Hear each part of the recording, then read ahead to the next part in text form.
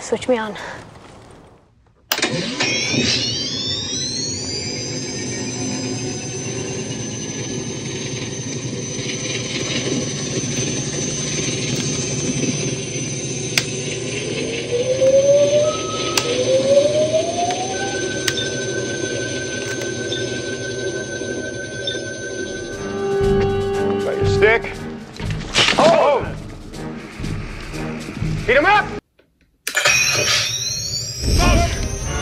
There's no time for a bench test. Heat them up. I have a radical idea. The door swings both ways. We could reverse the particle flow through the gate. How? We'll cross the streams.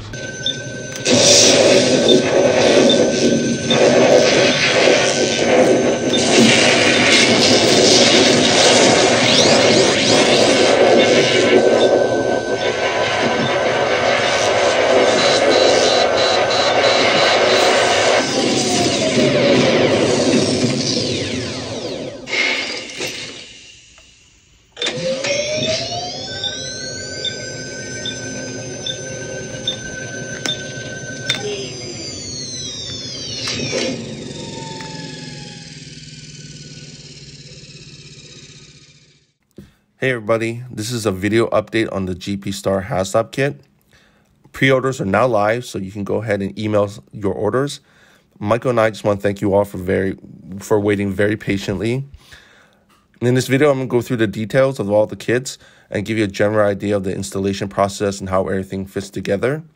This isn't a full step-by-step installation video, however, that will come out later on. The kits that we will be going through are the main kits, the speaker support kits, and two add-on kits. And just to note, going forward in this video, that unfortunately I we did not receive all the components in time, so there will be some missing items.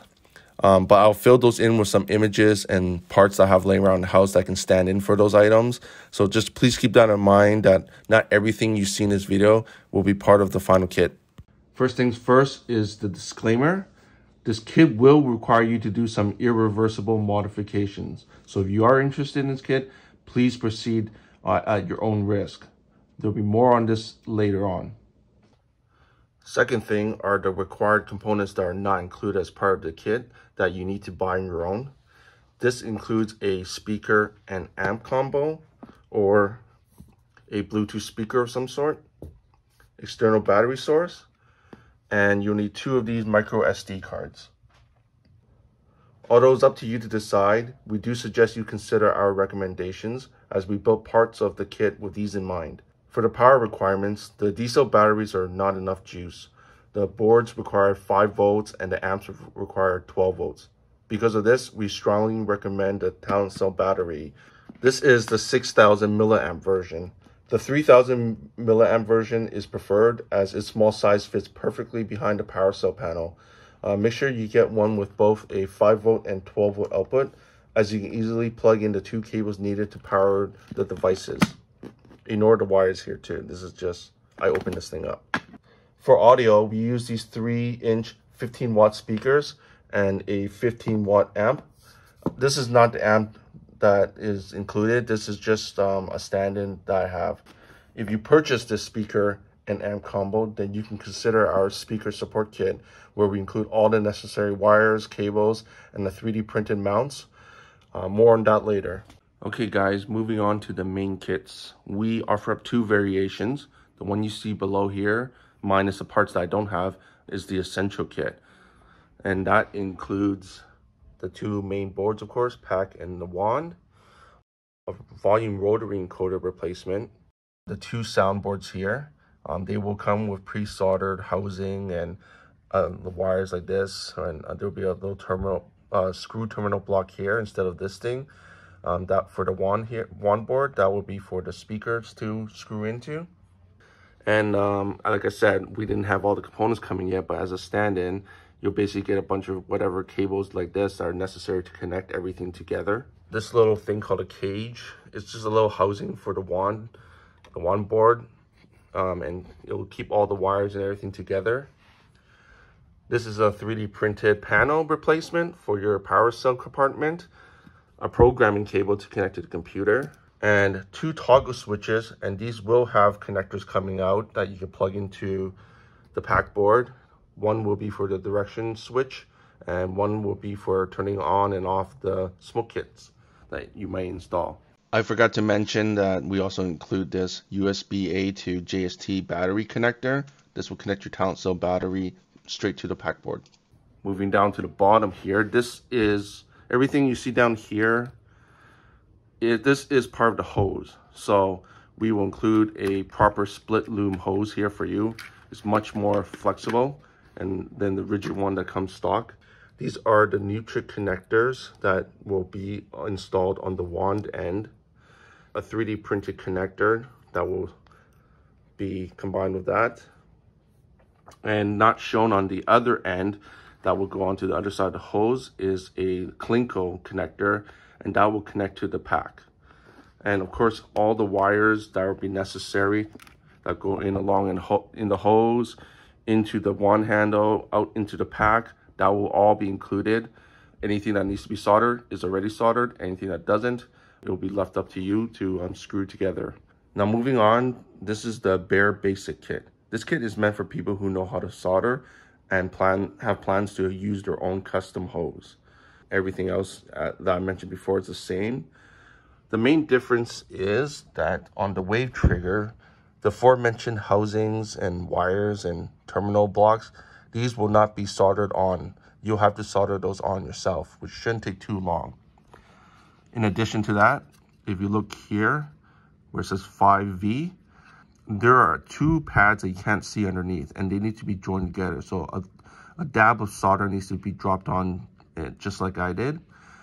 What that does, I believe, it enables this 5-VIN pin here to be active. Once that solder is on, do not use this DC barrel jack to power this board. Actually, regardless of which kit you get, do not use this DC barrel jack anymore. And this thing, if you plug that in, that might mess things up, so do not use that.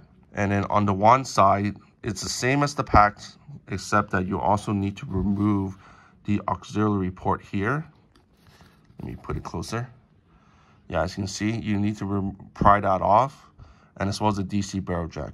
Pretty simple, just I think I use tweezers and pliers to do it. The reason being is there's not much space in the wand and so we need to like use up whatever space we can get. And then on the hose side of things, as you see, we do not offer up the loom hose or any of the connectors. We'll just give you the wires that are needed. Um, not all the wires here are shown, but here just as a stand-in example, that is what we'll give you. And then whatever hose you have yourself, you can just slide these in and connect them, solder them, whatever, do that yourself. And yeah, that's basically the two kits. Now we're gonna give you a quick run through of how everything looks when it's installed together. And also I'm gonna show you what needs to be modified. This isn't in the installation video, that will come out later on. I'm just gonna try to speed run through everything to give you guys an idea of how it'll look. Um, so for the pack, this is gonna be the easiest part of the install. This, the motherboard, just, you know, take out all the screws and whatnot, and that comes off easily. That will be plugged into the board. All you gotta do is unplug that and put that aside. Um, moving closer, you'll see that the main board is situated up here. You'll just have to remove all these cables like I did. They, they're just plugged in, just have to unplug them. The board will be screwed in, so you just need to remove two screws and it'll come out. And of course, uh, yeah, everything's already unscrewed here, but you have to unscrew the volume connector, um, the speaker, and the mounts. So that all comes out. You'll want to save the screws that come with the speaker mounts here because we'll be using that on our own later on. And once that's done, we pop in our own board and it should slot in. Yep, there you go. Exactly where the old one was. The rotary encoder, that will go right here, like this. And then all the existing wires plug right back in. The WAV Trigger uh, will give you a double-sided tape, and that can probably, I think, believe sits right there. And then the cables that we provide, you can connect it to wherever it needs to go. So that's pretty much the pack. Very easy as you can see. Okay, for the wand, it would be a little bit trickier. On the left here is a unmodified one. and on the right is one that I already worked on. So you'll have to take this off and you can see that there are these little circles here. These are little pegs. These will need to come off. Your first major modification is screwing into those and pull, pulling them out.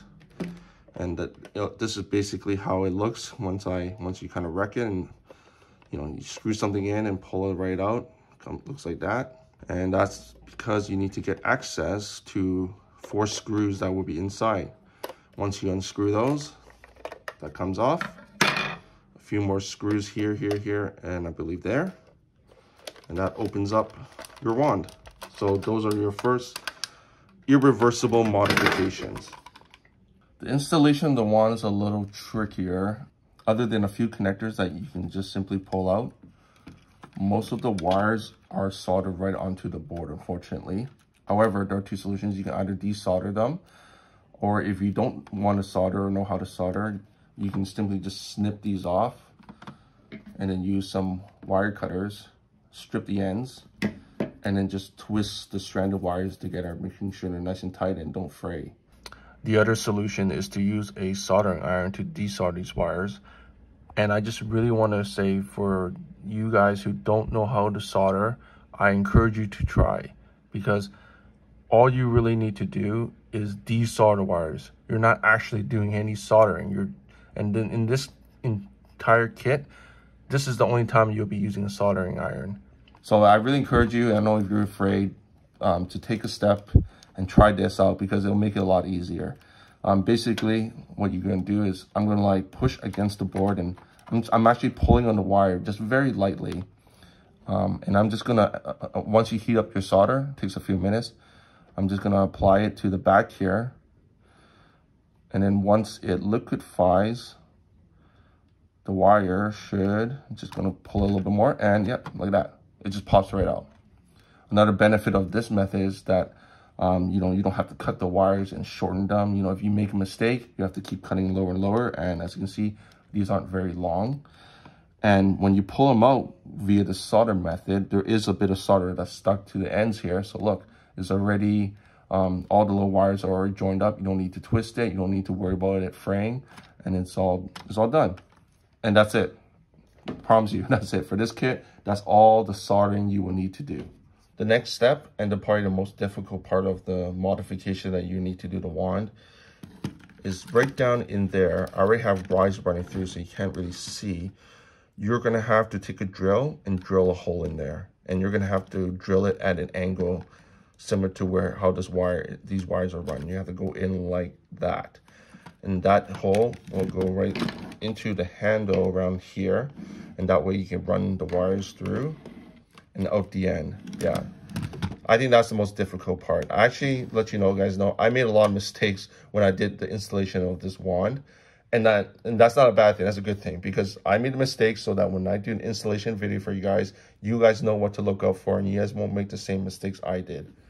Once that's done, we can start with the installation of the wand board. As you see, there are many connectors. So a lot of the existing connectors here can plug right in. For all the, these wires, they simply use these screw terminals here. Here's an example of how um, this one will look with everything installed with the cage. The purpose of this is to clear this here. So all the wires are all snug inside. Everything is nice and solid. And test it out, yep, the barrel clears. So that's the most important thing. And the WAV Trigger, it just sits right on top here. Oops, should go this way still clears. Oh, looks like it snags a little bit on one of my custom cables there. Yeah. There you go. I think this wand, the wand version I have here is not very good because I don't know if it's made faulty, but kind of hits the speaker. Does anyone else have that problem? My other wand doesn't do this. It's only this one. It's really weird. After that, all you have to do is just kind of, yeah, pack it back up, close it up, and you're good to go. Now for the hose, it will be disassembled uh, when you get the kit. I know I, I put it together quickly here just for demonstration, but when you receive the kit, it will be disassembled. It's a very easy to assemble kit, so don't worry about that. But the reason being is that, um, you know, I've seen all sorts of different types of hoses out there that people have done. You know, everyone's got their own idea of how screen accurate they want to be. For example, this is not for sale. Uh, we're, we're not selling this kit, but I bought this. This is not an official Herbert Cooper breather hose like in the movie. I just bought a cheaper one off eBay. This I think was $17 Canadian. So yeah, I plan to, you know, cut the loom shorter. Um, I haven't bought a fuse line hose yet from Home Depot. I plan to install that. Plan to cut this and for me, I'm happy. It doesn't need to be super screen accurate. For you guys, once you have finished your your hose assembly, whatever custom hose you want to do, you're going to want to take the long wires and you run that through the pack here. On the, on the end here, not shown, will be the, the Klinko connector here. That will be soldered onto these wires already. And then on the other end, there'll be the female um, connector with connecting wires like this that go out and into the pack. So as you see here, I remove the stock pack connector here and, and the wire. You won't need this anymore. You can get rid of that. And inside, you just run these wires through inside and connect it to the board. Electrical tape will do the job of connecting the link, uh, the Klinko. And then going up the hose to the other end here. This is the Neutrik connector. Um, this one will not be soldered on because these have screw terminals as you see I've done here. Yeah, same with the other side. You're just, I can't do right now, but you're gonna have to use a lot of electrical tape to wrap those together. And that will connect to this. Um, okay, I'm gonna show you here real quickly. I bought the wrong one for me personally. I bought this when I it this was still a DIY kit before me and Michael decided to make this into a kit for you guys. But the ones that you'll get will have screw terminals similar to this one in here. And then for the so you're gonna need to run the wires from the body of the wand through the handle out and then screw in the wires to this here. And of course, this square piece here will be shaved off when you get it. it this will be round and that will fit perfectly into this connector. And then at the bottom, there will be a hole where you can put in a grub screw to hold these together.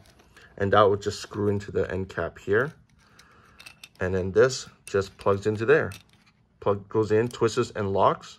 And it will look something like this. And I know this one is not the screen actor one. They actually discontinued that one. Um, and that one is only three pin. This is a four pin. But what you can do is if you do have the screen active version, you can actually take out the inside. You'll need a Dremel or something to shave off some plastic. And that can you can use the inside part of that and fit it right into the screen active version. So that's all up to you. I, I'm personally, I'm fine with this one. I think this one looks good enough for me. And yeah, so that's it for the hose. For the panel, you're gonna want to basically remove the existing one here. Um, there are two screws. I already took them off, but there are two screws here and here. You're gonna take those off, and then it just slides out. That Telecel 3000 milliamp TalentCell battery can fit right in here. But the only thing is, you're gonna need to do is break this one off. You take the, the 3D printed one we provide you, and I'll just go, yeah, this goes right in there. And then so now you can access the battery through the boards here, the hole here, sorry. And then the wires will come out through this hole, back in, and it'll connect to the amp and the board. And then the program programming cable can come out through here, uh, like so. Uh, the programming cable just come out, and this will plug into your computer. Now, this is for any future software updates. This is how you reprogram your board. Also, we there's a config file that you can customize things to your liking. And once you do that, you're gonna wanna plug this back in and reflash your boards. So that's what that's for. And of course, the two little holes here were meant for the toggle switches. And that's it for the panel. Next is the speaker support kit. This is designed about around the recommended speaker and amp that we um, yeah, that we have been using this whole time. Uh, once again, this is not the amp that you'll be getting. This is just a stand-in. I don't have the actual amp right here. But the most important thing is these three speakers. You'll need around ones that look like this. So I'm to put these aside for now. So it's not to confuse on what's included in this kit.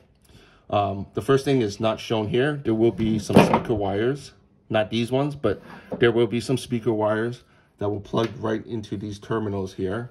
And then the other end will plug into the amp. DC battery cable here. This goes into TalentCell battery. The other end screws into the amp. Auxiliary cable. This connects to the amp and the WAV Trigger. And some 3D printed mounts, which I will demonstrate on how it will look. Installing the mount, something like, it'll look something like this. This bottom piece goes here. This one slots here and then there'll be a top piece like this and then the top speaker should just slot in there like that this one will be placed in like this and I don't have it printed yet but there will be another top piece similar to this one here that will go right here in terms of modifications for the motherboard there are two little tabs like this I lost the other one, but you're gonna have to break those off. We don't need them anymore. And then, oops, for here, you're gonna need to move this strap cover here. So that, that just unscrews. And finally, to the first add-on kit that we're releasing, this is the inner cyclotron LED kit. You're gonna get a 35 LED ring like this one. This this is not it. This is a 24 ring. I just don't have a 35 one yet. But it's gonna look something like this. And it'll have wires and a connector and that will go into the stock cake here that or if you have a 3d printed replacement one whichever it's all the same um, what's also not shown here is a guitar pick that's what you're going to use to kind of you know try to pry off the top lid you just gotta go inside along the edges break off the glue to remove the top um, top lid uh, you're gonna have to drill a hole right here and that should just drop right in with the wires coming out and plug right into the pack board. And then over here is the replacement panel. So this is a 3D printed panel and it'll come with all the clip lights. Those will pop right in there. And then there'll be the LEDs and these will have wires and connectors that go right into the board as well. Very easy install for this kit here. And last but not least, the bar graph add-on kit. These are being sold by Frutto Technology out in the UK we have partnered up with them and they will be the ones handling orders for our main kits and everything else for UK customers. Personally, I am most excited about this add-on kit. The bar graph just looks amazing. It's it's I don't know. I don't know what to say. It's uh, it's unreal. I wish I had one here to show you guys and what might the installation process might look like. But unfortunately, I don't. But I do know that you just kind of have to snap off some of the plastic that's in the way and that will allow clearance for you to just simply pop it in. It's very easy to install after that. If you wish to purchase these and you're in North America, the EU, uh, world, and the rest of the world, you can place the order through Frutto Technology. And so long as you're ordering a one of our main kits, then you can choose a shipping option that will allow zero dollars shipping and what they'll do is send the, send the parts to us and we'll just include it as part of the main kit. So you can save on shipping with that. And that's it for our video. All the kits that you have seen so far are available right now for pre-order. But just to let you know that that is not the full extent of the kit's um, capabilities. Michael did design this board with expansion in mind. So for example, as you can see in this video, he installed a couple of hat light LEDs to his wand and one to the tip of the barrel but if you do have the know-how, you can do this yourself. It's an open source kind of kit. I know that Smoke Kit is also very popular. This does allow for a Smoke Kit to be installed. If you want to check out Michael's GitHub, he does have a list of the parts that you can just buy yourself and some instructions on how to install it. So that's it. Good luck with the pre-orders, everyone. If you want to find us, you can catch us on GB Fan forums.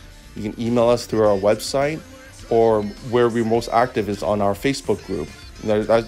that's where most of our updates and engagements will be.